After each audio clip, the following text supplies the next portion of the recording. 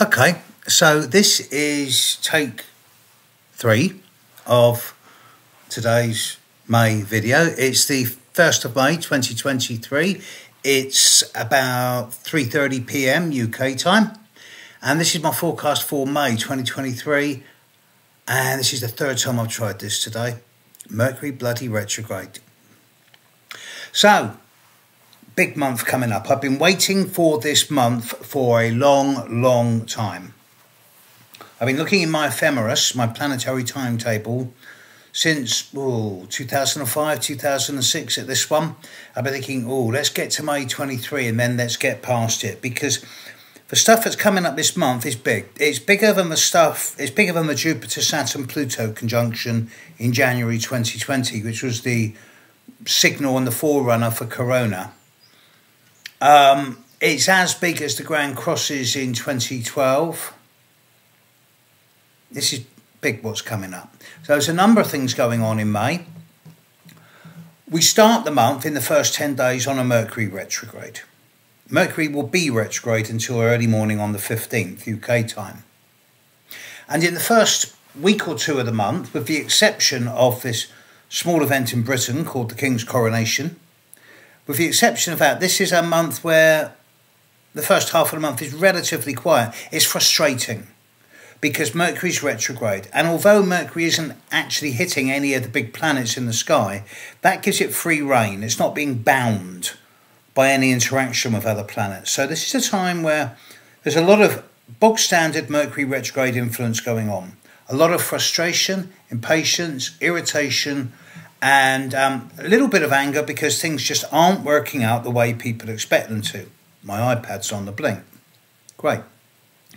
Um, add to this that 16, 17 hours before the coronation, there's a 95% total eclipse of the moon at 14 degrees 58 of Scorpio.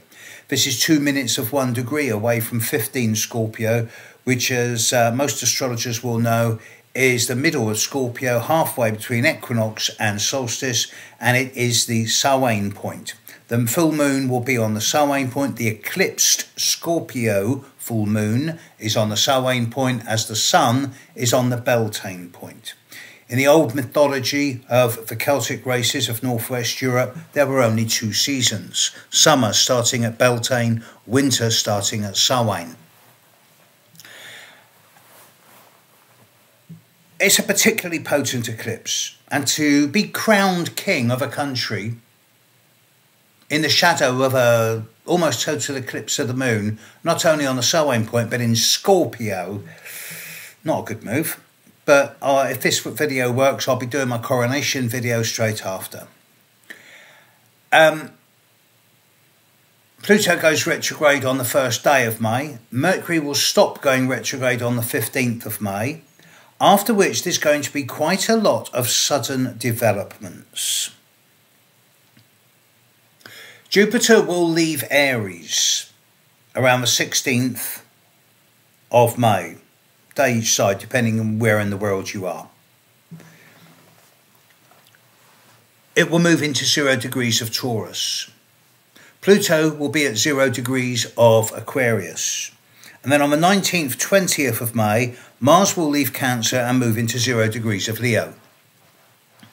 And on the 20th of May, 19th and 20th of May, Mars will exactly oppose Pluto. Mars opposite Pluto is one of the most challenging aspects in astrology.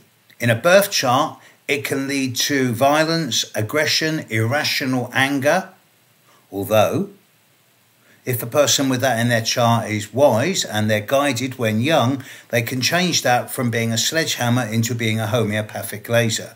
People with Mars opposite Pluto also become black belts in martial arts. They become very incisive, very self empowered, very good at channeling energy in a way that's focused, sharp, and direct. But it can be a sledgehammer. Pluto deals with the hidden the occulted, the mysterious. It deals with research, uncovering things, bringing things to the surface. It deals with psychology. It deals with subatomic particles and nuclear fission. and nuclear fusion, more fission rather than fusion. Mars deals with direct action. It can be confrontational and aggressive, it can be assertive and projective. It is dynamic, it is active. Mars opposite Pluto happens in the sky every two years, give or take a month or two. And it is a difficult transit. Problem is this year, it's being exactly squared by Jupiter. Both Pluto and Mars will be squared by Jupiter on the 19th, 20th. And Jupiter is going to hugely amplify the Mars Pluto energy. This is happening on a number of prominent people's chart in a number of prominent people's charts. So we've got a two to three to four day period over the new moon in Taurus on May the 19th, which is actually quite a nice new moon. But Mars opposite Pluto square Jupiter. So anybody with planets at zero degrees of Taurus, Leo, Scorpio, or Aquarius is really going to know about this. Now, if you hide under the bed, the bed will collapse on top of you. So don't. It would be very, very easy for a large number of people, both individually and collectively, to get their buttons pushed at this time. It is a short, sharp, potentially violent aspect that could erupt in various scenarios around the world, whether it's economic, political, or military. Sudan, Ukraine, and it could be quite damaging in a short, sharp way. This is not something that's going to be long and drawn out. It's going to be incisive, sharp, and probably very penetrative. The symbolism here for me is very much like the pimple on top of the boil. The boil that's been festering, and then suddenly the poison comes to the top, and it will be lanced.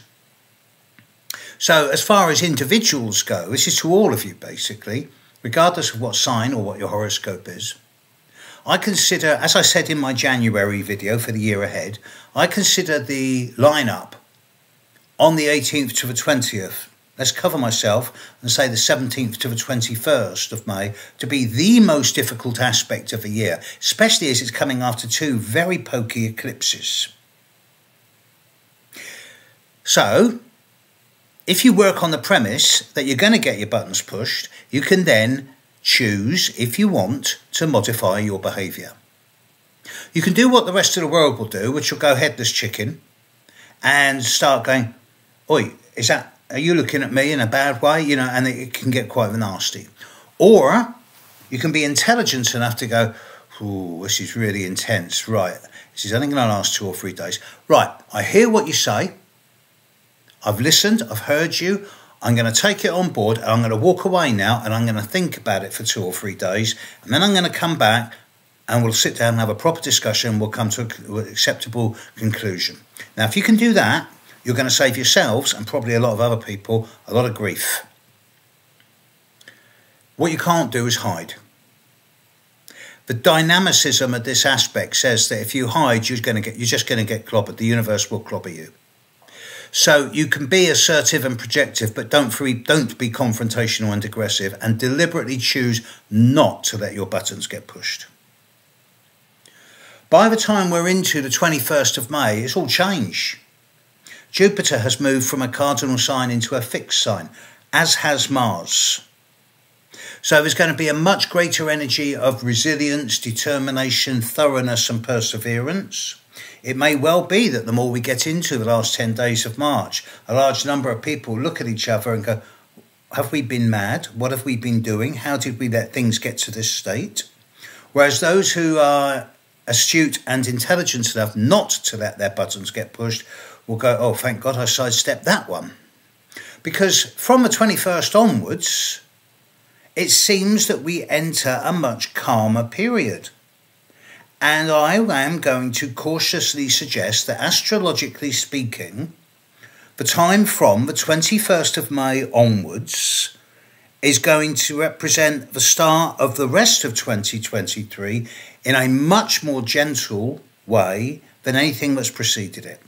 By the time we're into the last 10 days of May, the hardest times, astrologically speaking, of 2023 will be over. That's collectively for the planet Of course, certain individuals are still going to be getting hammered by Saturn, Uranus, Neptune, Pluto. That's the nature of things.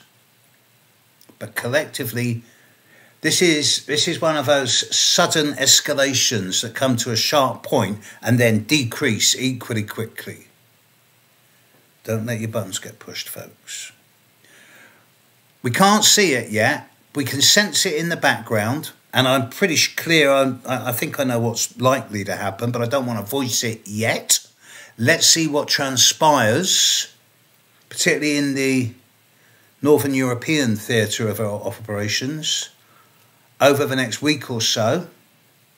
Then let's get the Mercury retrograde out of the way and then it's going to be incisive. So yeah, there will be a few more videos. Let's hope this video works. Bloody Mercury retrograde.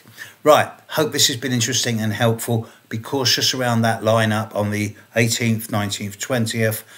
Have a good month. Be intelligent. Don't let your buttons get pushed. Catch you in a few weeks' time, but you'll see a lot more of me over this coming few weeks.